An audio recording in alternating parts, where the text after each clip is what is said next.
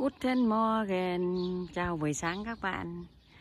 Hôm nay mình quay cái một cái ông ờ, ông tượng Phật này là theo như mình hiểu ấy là ông ấy ờ, người ta thờ ông ấy là vì là ông ấy ờ, sáng lập ra cái cái ốt thô này các bạn. Đây. Cái ốt thô Otto. Và cờ cờ ông ấy sinh năm 1602 mà mất năm 1000 à này, không phải, xin lỗi các bạn.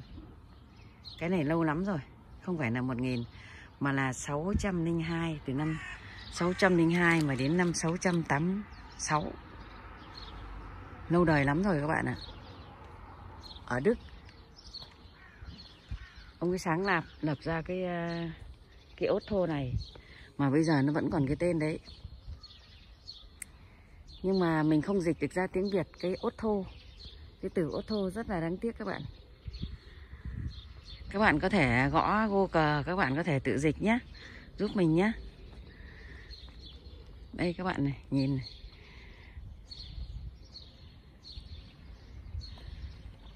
Cỏ cây chim hót. Mình lại nhớ đến câu thơ ngày xưa mình đi học phổ thông. Không biết rằng cái câu thơ này là của nhà thơ ờ, Nam Cao hay là nhà thơ ờ, gì mình quên mất rồi. Nhưng mà đại khái là một cái bài mấy cái câu thơ rất là hay. Mình sẽ đọc cho các bạn nghe nhé. Bởi vì nó hợp mấy cái cảnh cái cái cảnh mình đang đi ở đây. Mình, cái cảnh mình đang đi ở đây nó rất là yên tĩnh, thanh bình mà chỉ có một mình mình thôi. Thì cái cái cái bài thơ nó như thế này. Bước đến đèo ngang bóng xế tà, cỏ cây chân lá đá chân hoa. Lơ thơ dãy núi chiều mây phủ, nát đắc bên sông chợ mấy nhà dừng chân đứng lại, nhìn non nước. Chỉ thấy mình ta ta với ta.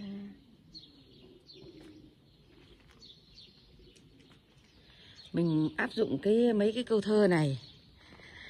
Có nghĩa là mình đang đi dạo một mình, mà nó khác với, nó khác với cái cái cái bài thơ đấy, nhưng mà ý nghĩa của nó là một mình không có ai. Các bạn ạ.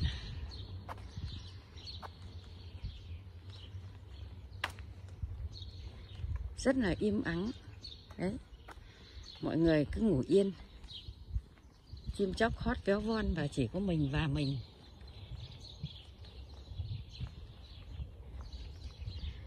Và hai bên đường xe đỗ.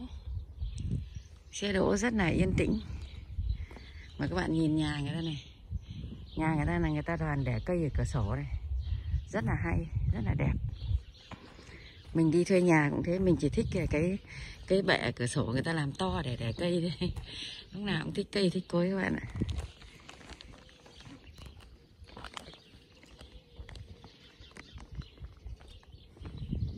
Nắng lên rồi.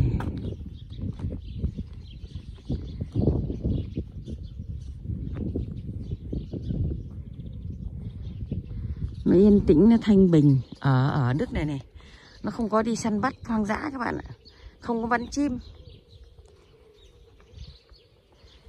Thế là chim chóc là cái, cái các cái con động vật ấy nó sướng lắm nó sống nó tự do lắm. Không có ai làm gì nó. Nếu mà bắt thì chết ngay với người ta. Chết ngay. Phạt ngay. Không ai dám ok bye bye.